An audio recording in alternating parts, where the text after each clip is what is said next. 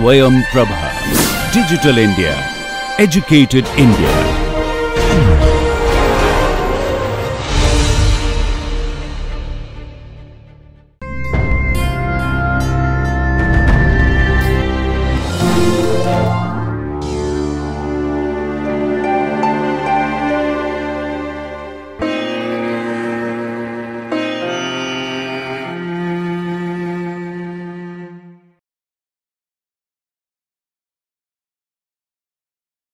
The module in progress is cell signaling mechanisms.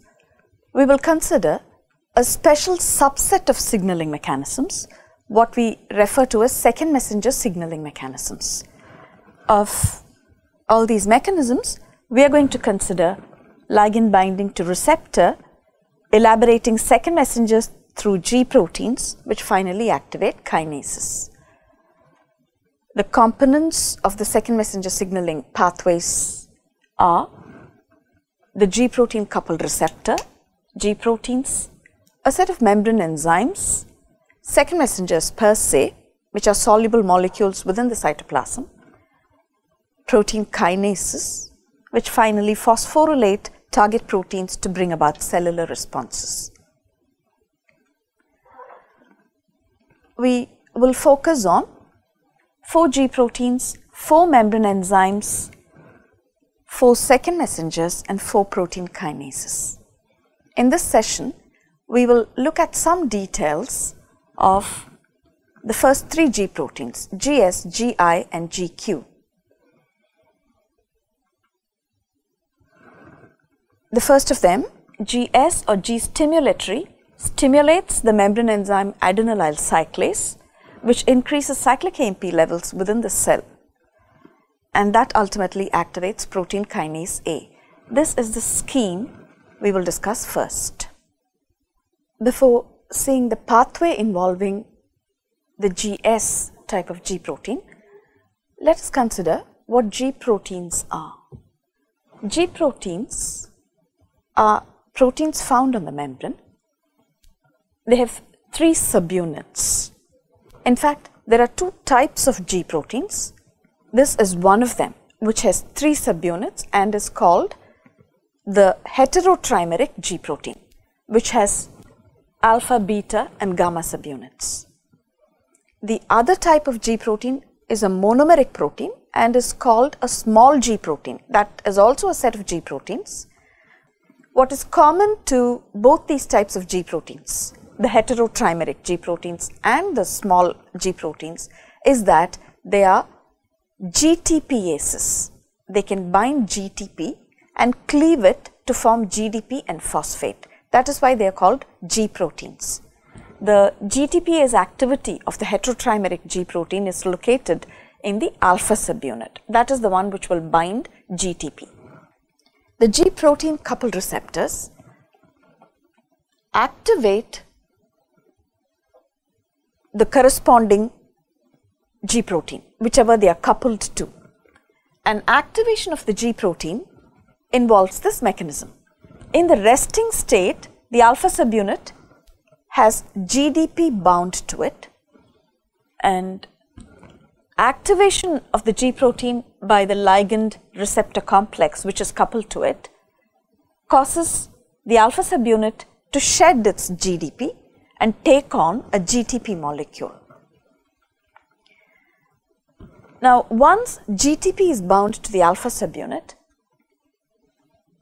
it moves away from the other two subunits and will activate the adenylyl cyclase enzyme, which is also located on the membrane. Now, once it has activated adenylyl cyclase, the GTPase activity of the alpha subunit will cleave the GTP molecule to produce GDP and phosphate. GDP st still remains bound to the alpha subunit and once that happens, the alpha subunit moves away from the enzyme and homes to its original position where it will be in combination with the beta and gamma subunits. So, this is a cycle of events that the G protein goes through after being activated. In every case, it is going to be like this, whatever the G protein be. That is what is said here. Now, if the ligand still remains in adequate concentrations outside, it can continue to stimulate the GPS, GPCR and the same cycle of events will go on. What next? Once the enzyme adenylyl cyclase is activated, it will act on adenosine triphosphate within the cell to produce a molecule called cyclic AMP or cyclic adenosine monophosphate. This is a very important signaling molecule within the cell. Cyclic AMP per se can produce effects, which we will see later on, but we've already seen that cyclic AMP can activate protein kinase A. And protein kinase A can phosphorylate proteins within the cell to produce cellular responses we will see a real example of a ligand which uses the cyclic AMP pathway to produce its effects. The best example would be adrenaline. There are many types of adrenergic receptors, alpha, alpha 1, alpha 2, beta 1, beta 2 adrenergic receptors and each receptor activates a different pathway. Uh, it is the beta 1 adrenergic receptor, which uses the cyclic AMP pathway. When adrenaline binds to the beta 1 adrenergic receptor, the G protein is activated, and we know the sequence of events where the alpha subunit moves and activates adenylyl cyclase. Cyclic AMP increases as a result of adenylyl cyclase activity.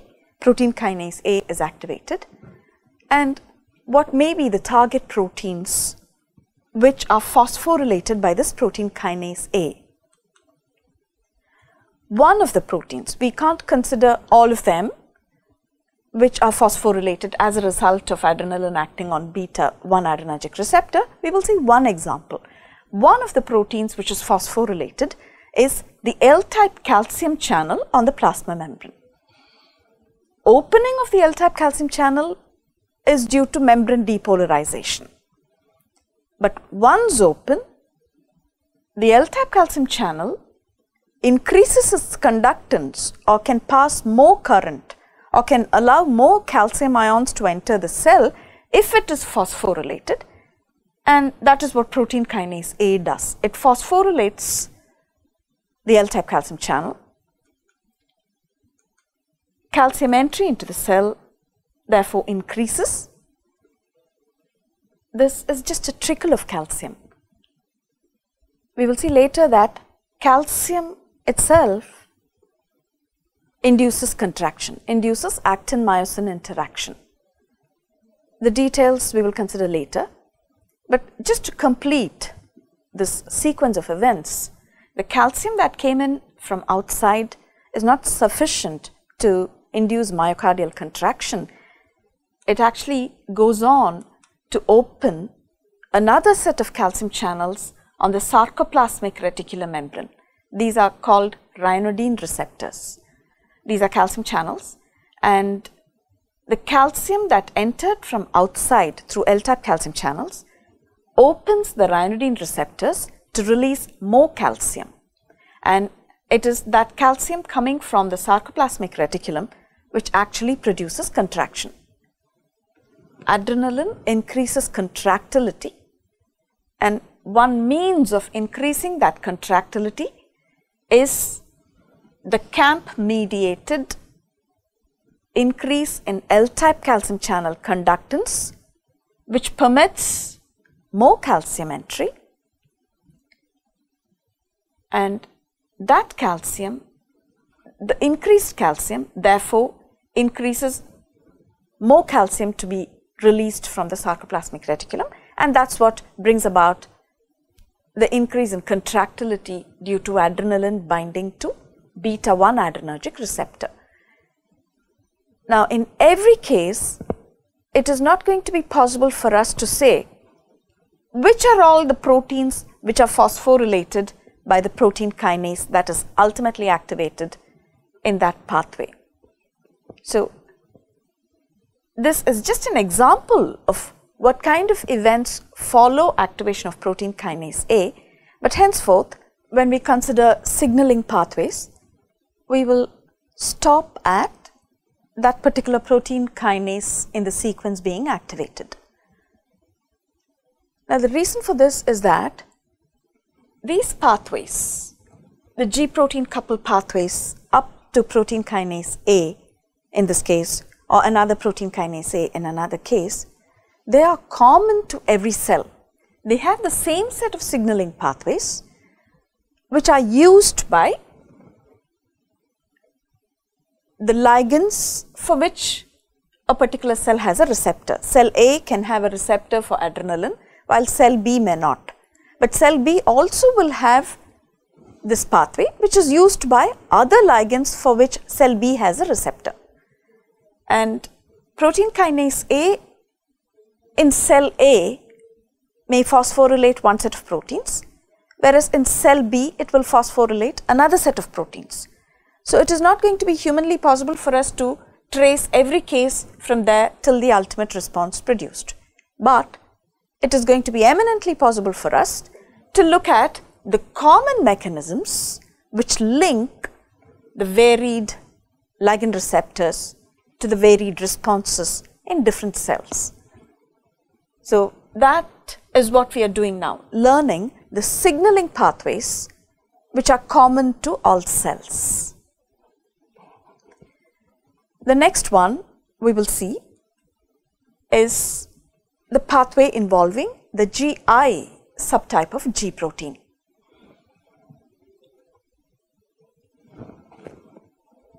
We will use adrenaline again as our example.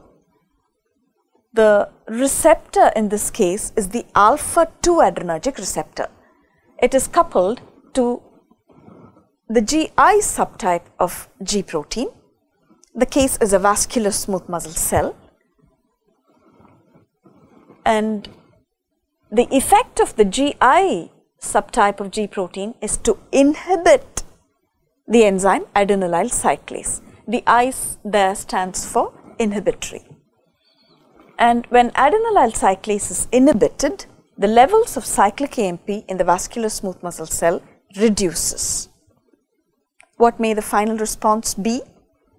Cyclic AMP in vascular smooth muscle actually induces relaxation and decreasing the levels of cyclic AMP will promote contraction in the vascular smooth muscle cell. So, adrenaline through a different receptor by decreasing CAMP levels can support contractility. The next G protein that we will consider is the GQ subtype of G protein. The GQ subtype of G protein activates the membrane enzyme phospholipase C, which increases the levels of inositol triphosphate in the cytoplasm and diacyl glycerol. Ultimately, protein kinase C is activated. So, how does this happen? A ligand binding to a GPCR, again, we take adrenaline as our example. This gives us a sense of how the effect of a particular ligand is brought about by the type of receptor that it binds to.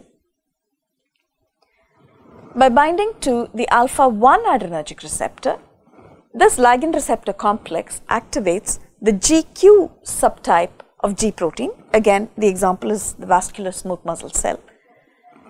And we know the sequence of events which will activate phospholipase C. Now, what does the membrane enzyme phospholipase C do?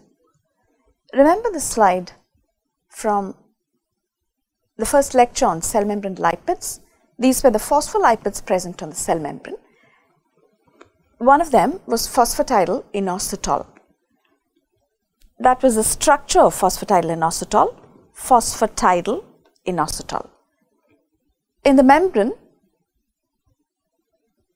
there is not only phosphatidyl inositol, but also phosphates of phosphatidyl inositol.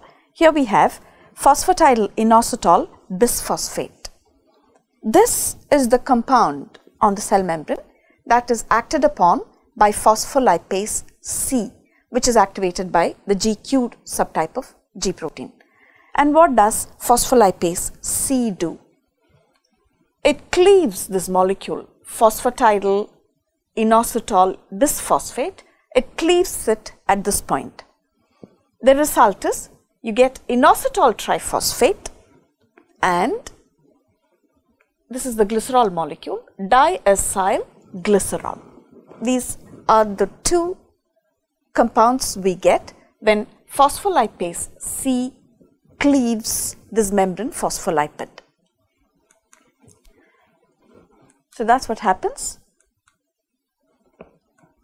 Phospholipase C cleaves PIP2, phosphatidyl inositol bisphosphate, into inositol triphosphate and diacylglycerol. You would have noticed that inositol triphosphate is a polar compound, therefore will move into the cytoplasm, whereas diacyl, those are two fatty acids. So, this compound is still lipid soluble and will remain in the membrane lipid. What does inositol triphosphate do? In the previous pathway, we saw that there was a set, there is a set of calcium channels on the sarcoplasmic reticular membrane called ryanodine receptors, which would open in response to calcium or in some cases in response to a voltage change. There is a second set of calcium channels on the sarcoplasmic reticular membrane, which are referred to as IP3 receptors and when inositol triphosphate binds to these receptors, the channel within those receptors opens up, releasing calcium. Again, calcium per se can produce effects. We know that in muscle cells, calcium induces actin-myosin interaction in one or two ways. But in addition to its direct effects as calcium, calcium, calcium does something else. It chaperones this enzyme protein kinase C. It binds to protein kinase C. That alone is not enough to activate protein kinase C. This enzyme has to be taken to the membrane and the calcium diacylglycerol complex activates protein kinase C. We've just seen the GQ mediated pathway. While we are here, we will consider calcium again. We know that phospholipase C activation results in IP3 generation, which itself releases calcium from the sarcoplasmic reticulum. And then we know that calcium chaperones protein kinase C to the membrane and the calcium diacylglycerol complex activates protein kinase C. But calcium within the cell can increase due to a few other mechanisms as well. And calcium can activate a set of kinases called calcium calmodulin dependent kinases. So, the calcium calmodulin complex can also activate a different set of kinases, what are called CAM kinases. So that's one of the means in which calcium can act.